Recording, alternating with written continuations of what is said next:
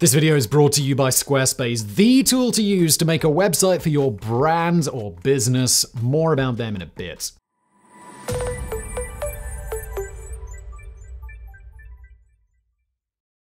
In Japan, there is a vast and calm forest, a sea made of green and silence, resting above wondrous caves where layers of ice have become pillars century after century. But in Japan, there is also a deep and dim maze of ancient trunks where one may easily lose their bearings and forfeit the will to return. These places are one and the same Aokigahara, sadly known as the Suicide Forest. In today's Geographics episode, we're going to learn about the marvels, lore, and dark reputation surrounding this forest. Necessarily, we're going to be touching on issues concerning mental health, depression, and suicide. If these topics are particularly sensitive to you, maybe you want to skip this episode. If you or someone you know might be distressed by thoughts of suicide, you can ring the US National Suicide Prevention Line on 988, or if you're in the UK, you can call the Samaritans on 116 123. In Japan, you can reach TELL on 035774 0992. There will also be a list of other support associations in the description below this video, and let's get into it.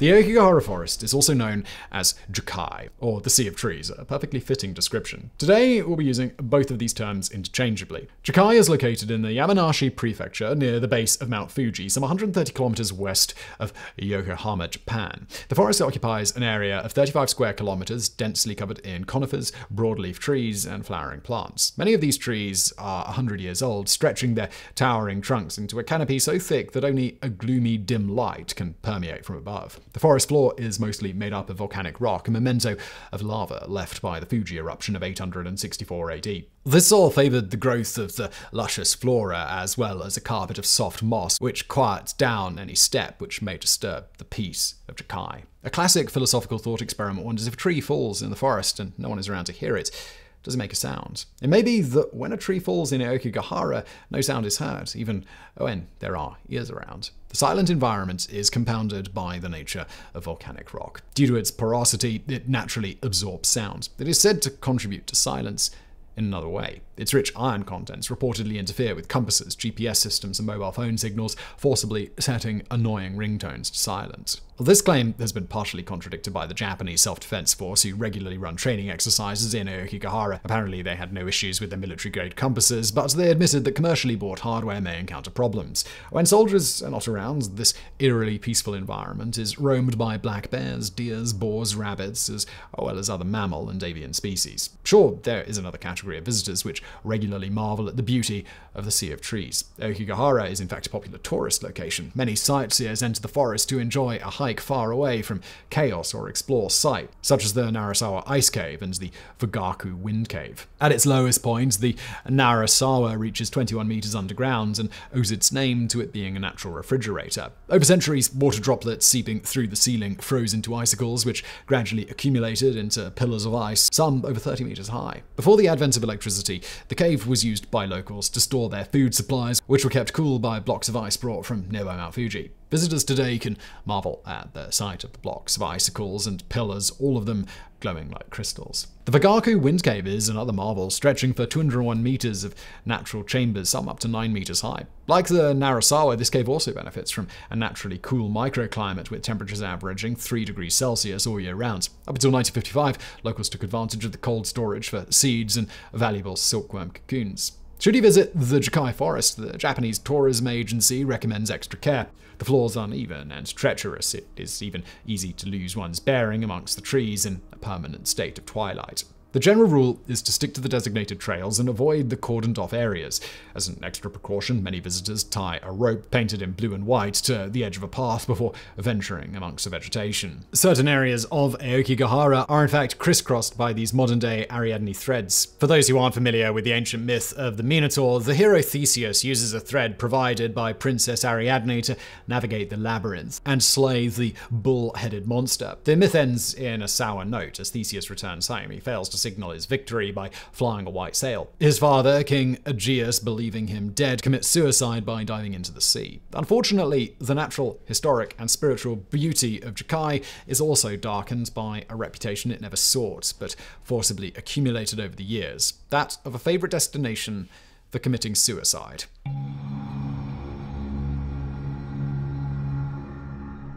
The annual number of suicides committed within Aokigahara is disputed and it's not easy to quantify. A clinical paper published in 1988 by Dr. Takahashi of the Yamanashi Medical College quotes an annual average of 30 suicides per year, a statistic confirmed by CNN in 2018. Since 2003, Japanese officials have stopped reporting on the number of suicide cases to avoid encouraging this trend.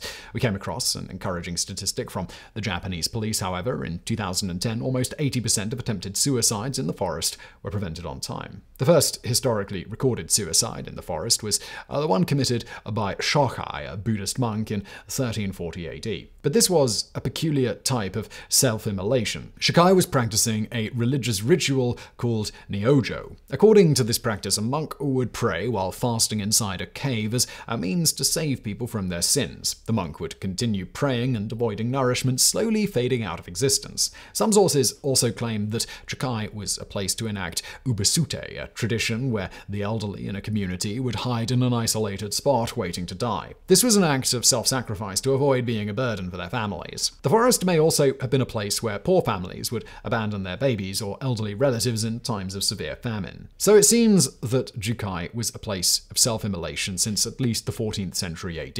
In the 20th century, its notoriety surged after the publication of two works. The first was the novel Nami no To, or Tower of Waves, by Seicho Matsumoto. The story centers around a beautiful, love torn heroine who decides to end her own life inside the Sea of Trees. The popularity of the novel prompted several Japanese citizens to travel from far and away to commit suicide in the same area. Aokigahara was mentioned again in the 1993 book, The Complete Manual of Suicide, written by Wataru Tsurumi. Tsurumi describes Jukai as the perfect place to die and even provides directions to the best spots for a body never to be found. Following the popularity of this manual, several bodies were found in the forest. But I should mention that it has not been ascertained if the book actually contributed to a rise in Japan's suicide rate. Speaking of which, as of 2022, Japan's suicide rate is 15.3 cases per 100,000 citizens, the 25th highest rate worldwide. Its current population is just short of 124 million, meaning there are almost 19,000 people committing suicide every year. Now, let me quickly jump in here to tell you about today's fantastic sponsor, our longtime friends over at Squarespace. Look, you've heard me talk about Squarespace before, probably many, many times, and honestly, if you're building a website anywhere else in 2022, I might wonder what you're doing and I might think you're a bit insane because Squarespace have all the tools you could ever need to build a website and they make it ridiculously easy. All you have to do is head over to squarespace.com and from there, what you do is you browse through their templates. Not only that, but they'll help you narrow down what template you want. They'll ask you a little survey like, What's your website about? And you might say, I am a photographer. And they'll be like, Well, have you seen these templates? And you'll be like, I, I have now, and this one is beautiful, and that's what I want. And then you click on it, and then it's all generic. There's Lorem Ipsum in there, there's random pictures, but it looks great. And then what you do is you swap it out with your own pictures, you swap it out with your own text. Maybe you add an extra page here or there. Maybe even sell your services. Maybe even sell products. You can also do that with Squarespace. Look, it really is just the only place that you should be building a website. And then once you've got your site set up, there's loads of extra features. Maybe pop a little email form on your site being like, continuing the photographer example, interested in my photography services? Enter email here and I'll be in touch. Boom, easy, bring in that business. And of course, they cover all of the basics like analytics, blogging, etc. There really isn't a better place. So head to squarespace.com for a free trial, and when you're ready to launch, go to squarespace.com slash geographics to save 10% off a website or a domain. And now back to today's video.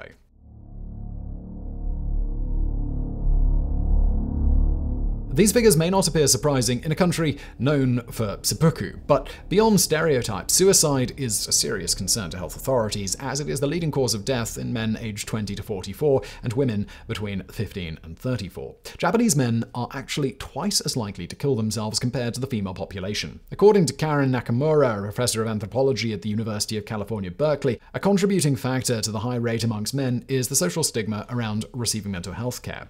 Other risk factors include the pressure of academic academic achievement, depression, consequences of divorce, overwork, financial struggles, and unemployment. This latter trend was especially prevalent in the years that followed the economic crisis of the late 1990s and the collapse of Lehman Brothers Bank in 2008. A middle aged man who lost his livelihood in the subsequent economic downturn, simply identified as Taro, bought a one way ticket to Aokigahara and walked into the silent greenery to end his life. Once lost deep in the green sea, Taro cut his wrists and waited for the end to come. His wounds were not fatal, but he collapsed from blood loss and he almost died from dehydration, frostbite, and starvation. Luckily, he was rescued by a hiker just in time. Later, Taro declared to CNN, My will to live disappeared. I'd lost my identity, so I didn't want to live on this earth. That's why I went there.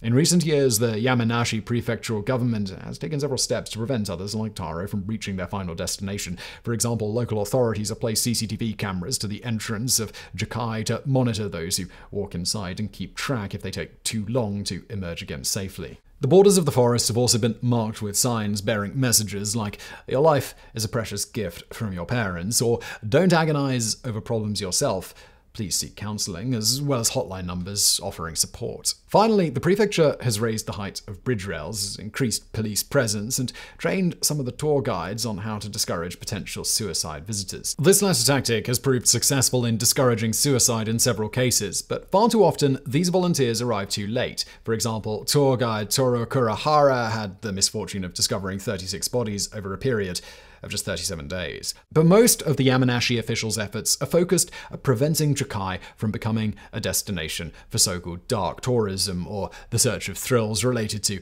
a place with a haunted reputation or a violent history. Unfortunately, Aokigahara has had its unfair share of visitors driven by morbid motivations. There are recorded incidents of tourists searching for the bodies and belongings of those who committed suicide there to the point of collecting macabre souvenirs such as nooses used for hangings.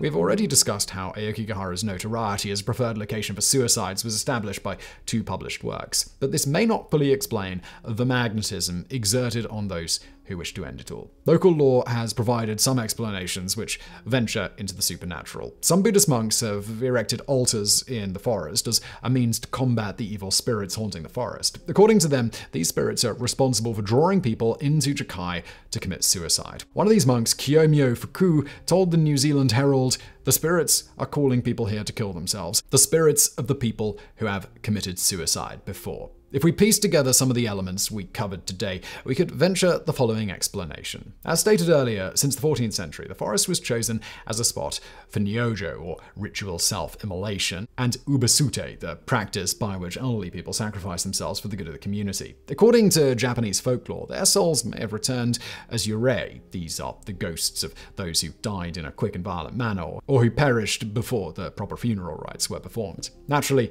the bodies of suicide victims may remain undetected for months lost in the vegetation. Some may never be recovered as their remains are slowly consumed by the elements or scavenging animals. Yurei are said to roam the place where they died, creating unexplained sounds and lights or invoking powerful curses against the living. According to Buddhist monk Kiyomo Fuku, it may be the Yurei who call for the living to travel into Jukai and kill themselves, thus perpetuating the string of suicides within the forest. In fact, it is no surprise that Aokigahara is a reputedly haunted place. Visitors have often reported hearing unnatural, blood-curdling screams beneath the canopy. One of these witnesses was a writer for the Japan Times who allegedly once heard a terrifying wail deep within the vegetation. As he investigated the source of the noise, he found a dead male body lying by a tree. The man appeared to have been dead for quite some time, hence he could not have screamed. Maybe it was the Yurei. Or more realistically, the screams heard within Aokigahara belong to one of the many species of birds who harmlessly live there, blissfully unaware of the worries of the human realm.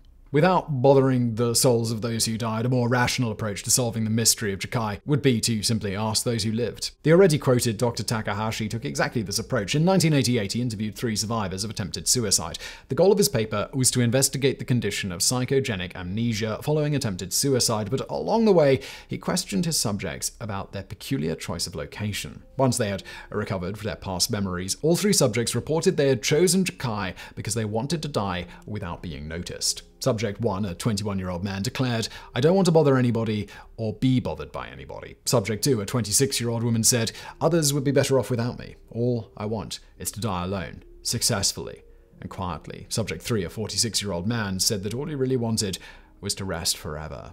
The emerging theme is that these patients wanted to die alone, quietly, restfully, far from the world, in a place where their bodies may never be found.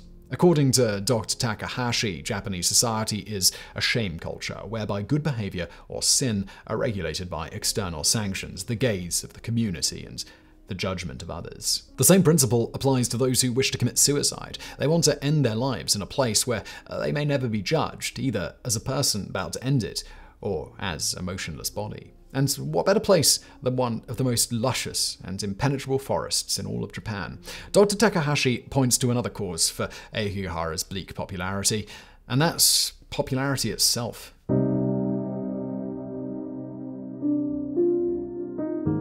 Novels, manuals, news reports, and even horror movies have perpetuated the myth of Jukai as an arboreal labyrinth where those who will it will find a peaceful, even beautiful death. In recent years, Aokigahara was in the news again following the visit of YouTuber Logan Paul in January 2018. The popular content creator filmed a segment about Jukai with the goal of investigating its alleged haunting. After some shots of Mount Fuji, which he refers to as Fiji, Logan is shown bantering with his collaborators before walking into the forest. As they roam the sea of trees, he and his crew are startled by a grim discovery of the body of a suicide victim. The video ends with further shots of the YouTuber as he drinks sake and engages playfully with his fans. Paul did include a suicide prevention message in his video addressing the issues of mental health, and later issued an apology video. Later still, he admitted that the tone he used in the video was a horrible lapse in judgment. However, the overall tone of the segment was perceived as disrespectful by most commentators, including local authorities. What's worse, the high viewership of his channel worried the local prefecture that his video may contribute to a rise in suicides. In his paper, Dr. Takahashi points out a suicidal ideation and sympathy toward other suicides exists subconsciously among people who are at high risk of suicide. Such reports of suicide may trigger others, since many researchers have pointed out the role of suggestion of infectiousness in suicide. In today's world, uh, we don't need a vengeful spirit, a Yurei, to perpetuate the chain of self immolation, for we are the Yurei. So, let me ask again if a tree falls in the forest and no one is around to hear it, does it make a sound? And our opinion is that yes. Yeah, it does. But other trees, plants, animals, even those far removed who directly or indirectly cared for it or benefited from it, will certainly suffer from the silence it left behind. We'll admit that yes, we are the Yurei. Even Dr. Takahashi, perhaps indirectly, is one. But we also feel it is important to address certain issues, to educate, to inform, and if possible, to prevent the worst from happening. Each one of us has a monster, a minotaur waiting for us. Most of us are certainly no heroes, unlike Theseus, but just like him, we all certainly need and have someone who can help us by giving us a thread to hold on to so that we don't lose our bearings in our quest within the labyrinth. In Japan, there's a vast and calm forest, a sea of green and peace, tarnished by tragedy. The tragedy of those whose bodies lie motionless on a carpet of ancient lava and of moss. The tragedy of those who will never see them or hear them again. The tragedy of those brave guides who are willing to offer a kind word to the desperate and have to discover new bodies each day. In Japan, there is a deep and dim maze of ancient trunks, waiting to be discovered.